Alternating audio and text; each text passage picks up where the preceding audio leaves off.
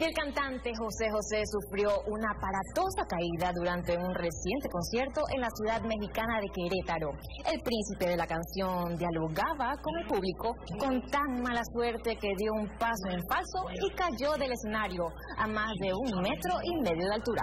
Así es, con gran valor, el artista subió nuevamente a la tarima para concluir el show.